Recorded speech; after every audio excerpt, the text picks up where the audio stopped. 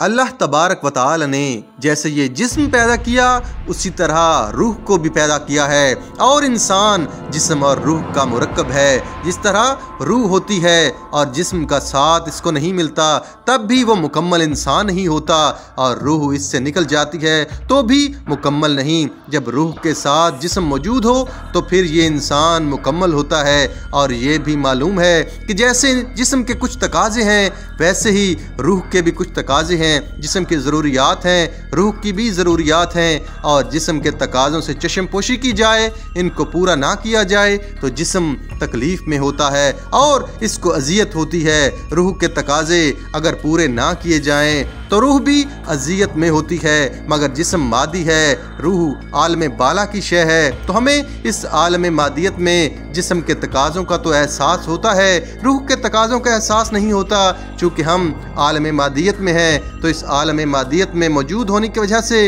मादी जिसम के तकाज़ों की ज़रूरियात भी महसूस होती हैं, और इनकी तरफ़ तवज्जा भी दी जाती है।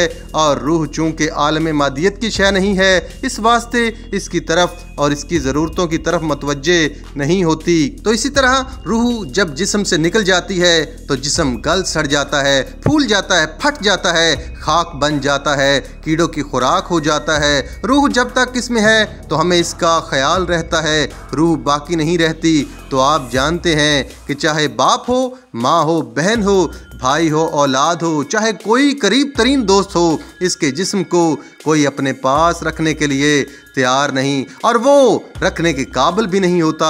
उसे ज़मीन में दफन कर दिया जाता है या इसको आग में जला दिया जाता है। रूह जब तक रहती है तो इसकी देखभाल, इसके साथ ताल्लुक़, ये सारी चीज़ें रहती हैं। ये नमाज़ जो हमने पढ़ी है, ये रूह की गज़ा है। पुराने मजीद की हम तलावत करते हैं, ये रूह की गज़ा है। हम दरुद शरीफ की तस्बी पढ़ते हैं ये रूह की गज़ा है। जितनी इबादत है, वो तमाम की तमाम रूह की इबादत है। नान गोश्त इसी तरह जिस्म की गज़ा है। शरबत है, चाय है, दूध है, ये जिस्म के लिए है। लेकिन जिस्म की गज़ा वो जिस्म के मुताबिक है और रूह की गज़ा वो रूह के मुताबिक है। जिस्म चूँकि मादी है, इसकी गज़ाएँ भी मादी हैं। रोटी, गोश्त, सब्ज़ी, दालें दूध चाय, सारी चीज़ें मादी हैं, ये जिस्म के मुताबिक हैं। जिस्म के लिए गज़ा बनती है और रूह के लिए, चूँकि वो मादी नहीं है, लिहाजा नमाज़ जो मादी शय नहीं, वो इसकी गज़ा है। कुरान मजीद की तलावत, वो इसकी गज़ा है। अगर आप अपने जिस्म और रूह को